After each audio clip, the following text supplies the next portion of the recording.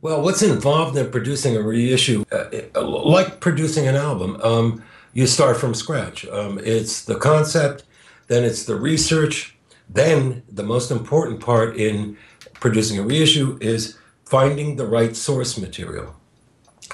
Then finding the right engineer who's simpatico with what you want to hear, and then putting it all together and making it make sense and getting the company to a do it, b do it for uh, you know a reasonable price point, and boom, then you're home. To to give you an idea of what uh, the problems were in finding the proper um, tapes when when the record industry eliminated mono in the late 60s um, columbia started putting out electronically rechanneled stereo, hideous things uh, for a lot of their 50s material, uh, including the Miles Davis album Milestones.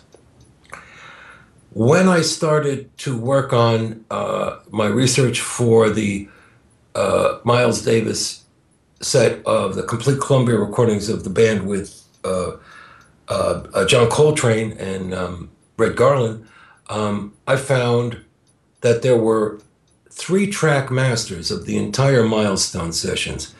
And this was in maybe 1992. In the meantime, Columbia had been peddling this hideous electronically rechanneled stereo from a mono master, and no one ever thought to look to see if there was a three track master. So th- that kind of the source material and the detective work is probably uh, combined with a, a certain intelligence and an idea of what you want to go for is is really the most important aspect of reissues. Finding something that's never been heard before and causing it to come out uh, for me was always an incredibly gratifying thing, whether I was doing it on Blue Note or Columbia or Mosaic. Um, and the thing is, even if you put something out and it only sells a thousand copies and gets deleted in two years, once you put it out, it exists. Once it's out in the world, it's out in the world. It can get copied, it can get analyzed, it can get critiqued. But if it's just sitting on a shelf, it only exists in, in a theoretical way. It does not exist. So getting stuff out and always applying good judgment to not not put out garbage but getting good stuff out um, was always the most satisfying thing for me because at least then it was it's it's it's in the history, it's in the stream of things, and I'm done. There's two reasons why reissues um, have a, an incredible second life. And one is for people our age who were around when the music first came out.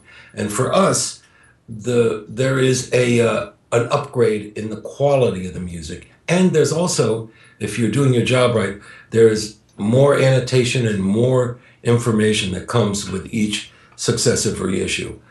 For um, younger people who weren't around when this happened, and I remember feeling strongly about this when Bruce Lundvall and I restarted Blue Note in 1985. Um, the reissues were of incredible importance because n- most of that material was not available at all at the time. And there was a whole young group in the early 80s of music students uh, uh, who became professional musicians who didn't have access to this incredible body of work. And once you make it available to them, it sends out that information, and that information affects the future as much as it celebrates the past. The Sonny Rollins Village Gate material uh, runs from completely irrelevant to sublime. Uh, some of the stuff is magnificent, other things are just self indulgent and go nowhere. Um, and you, you would always hope that the material would be in the hands of someone that would use judgment um, and consider the artist and consider the music and only put out what enhances the music and what enhances the artists involved.